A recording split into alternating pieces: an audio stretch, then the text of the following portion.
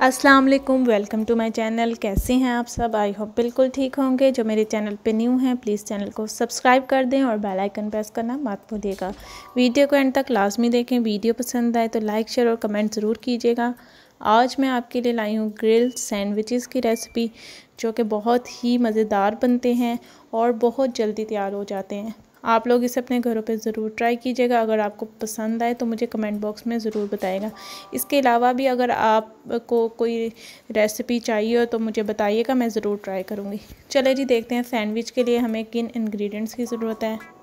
यहाँ पर मैंने सबसे पहले मालमो की सैंडविच ब्रेड ले लिया ये बहुत ही ज़बरदस्त ब्रेड होती है। इसके अलावा मैंने चार अदद अंडे ले लिए हैं। एक खीरा लिया है। चीज़ स्लाइसिस ले लिए हैं। और बंद गोभी ली है। इसके अलावा कनौर चिली गार्लिक सॉस लिए हैं मायोनीस ली है ऑलिव्स लिए हैं। ऑलिव्स नहीं है, आप एलोपिनोस भी यूज़ कर सकते हैं और बारबी बारबेक्यू सॉस सलमानस वालों के लिए है। इसके अलावा मैंने चिकन को छोटे छोटे क्यूब्स में काट लिया था और तिक्का मसाला और दही में मैरिनेट किया है। इसे हम आधे घंटे तक मैरिनेट करेंगे। चलें जी, अब हम चलते हैं अपने नेक्स्ट स्टेप की तरफ़। यहाँ पर मैंने एक पैन में थोड़ा सा नमक और पानी डाल लिया है और मैंने अंडों को बॉयल होने के लिए रख दिया है। पंद्रह मिनट तक हम अंडे बॉयल कर लेंगे ताकि अच्छी तरह से बॉयल हो जाएँ। अब जी हम सॉस रेडी करते हैं। सॉस के लिए मैंने एक बाउल ले लिया है। उसमें मैं Knorr chilli garlic sauce add करूँगी। आपने उतनी ही सॉस बनानी है जितनी आपको ज़रूरत हो ताकि वेस्ट ना हो। ठीक है। इसके अलावा यहाँ पर मैं बारबेक्यू सॉस ऐड करूँगी। इसका बहुत ज़बरदस्त, बहुत मीठा और स्मोकी सा फ्लेवर आता है। मुझे बारबेक्यू सॉस जो है वो बहुत पसंद है। इसके अलावा मैं मायनीस इसमें ऐड करूँगी। आप ये सॉस जो है दोबारा जल्दी से बना सकते हैं। इसलिए इतनी क्वांटिटी में बनाइएगा कि आपकी ज़ाया ना हो। इसके अलावा यहाँ पर मैं पिंच ऑफ़ सॉल्ट ऐड करूँगी और half table half tea spoon मैं इसमें ब्लैक पेपर ऐड करूँगी। अब हम इसे अच्छी तरह से मिक्स कर लेंगे। आप यहाँ पर लेमन ड्रॉप्स भी ऐड कर सकते हैं, तीन से चार लेमन ड्रॉप्स उसका भी बहुत अच्छा फ्लेवर आता है। इसके अलावा अब मैं एक सैलड रेडी करूँगी, उसके लिए मैंने सबसे पहले बंद गोभी को ब्रिक ब्रिक सा काट लिया है। अब इसमें मैं मायोनीज़ ऐड कर दूँगी।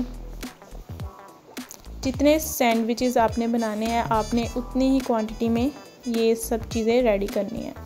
इसके अलावा यहाँ पर मैं पिंच ऑफ़ सॉल्ट ऐड करूँगी और मैं इसे अच्छी तरह से मिक्स कर लूँगी। ब्लैक पेपर ज़्यादा पसंद है तो आप इसमें भी थोड़ा सा ऐड कर सकते हैं। देखें जी, ये दोनों चीज़ें जो हमने, हैं रेडी कर ली हैं। अब जी, हम चलते हैं अपने नेक्स्ट स्टेप की तरफ़। यहाँ पर अब मैंने एक पैन ले लिया, उसमें मैं थोड़ा सा ऑयल ऐड किया है।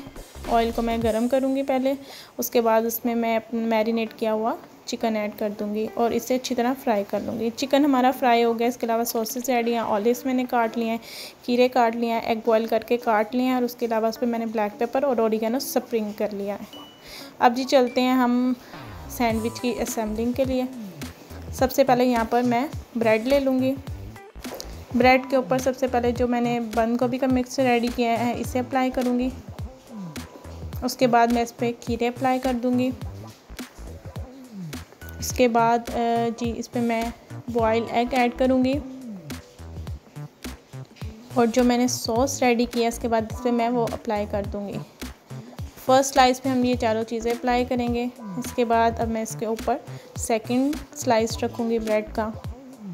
इस पर जी, सबसे पहले मैं चिकन ऐड करूँगी। उसके बाद ऑलिव्स ऐड करूँगी।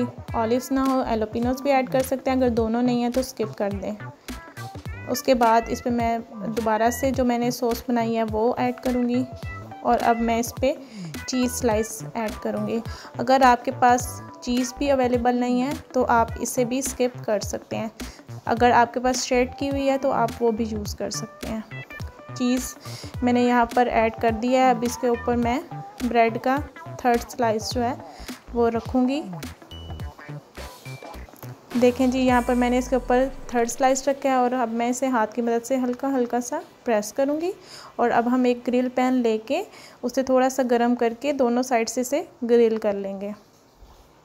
जी तो मैंने पैन में पहले पहले मैं पैन को ग्रीस कर लिया था और उसको प्री हीट किया था। अब यहाँ पर मैंने उसमें सैंडविच रखा है लो फ्लेम पे अब मैं इसे कवर कर दूँगी ताकि हमारी जो चीज़ है वो अच्छी तरह से मेल्ट हो जाए।